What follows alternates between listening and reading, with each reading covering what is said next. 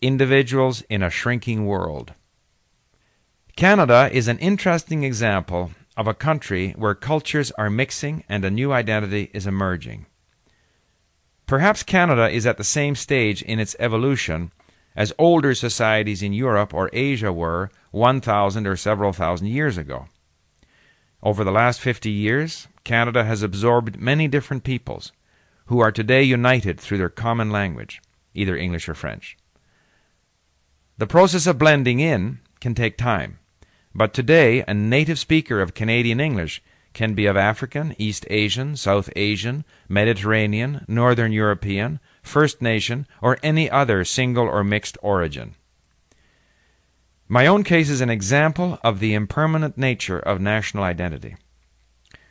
My parents were born into a German speaking Jewish community in the Austro Hungarian Empire, in an area that subsequently became Czechoslovakia and then the Czech Republic.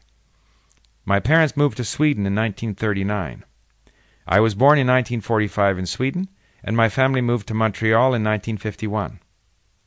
My national identity is Canadian, specifically English Canadian.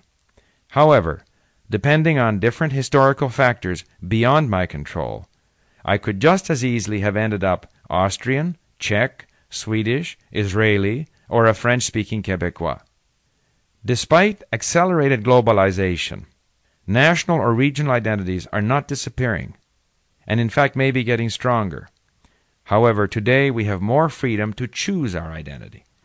We are all individual human beings. We can share in different identities and understand different cultures. We are stamped by our native culture, but this is an accident of history. It cannot limit us. As individuals, we have the opportunity and, I would say, the responsibility to explore other cultures. The best way to do that is through language.